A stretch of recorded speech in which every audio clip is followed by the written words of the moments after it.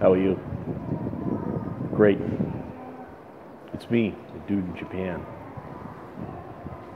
Ever seen a cherry blossom Hanami themed railway advertisement before? See that? This is just demonstrates how important cherry blossoms and Hanami are to the Japanese. There are cherry blossoms in the parks, and there are cherry blossoms on the railway advertisements. Until next time, I'm the dude in Japan. Wherever you are, stay right there. Stay frosty, lieutenants. Enjoy the cherry blossom videos I have posted for you previously. Take care.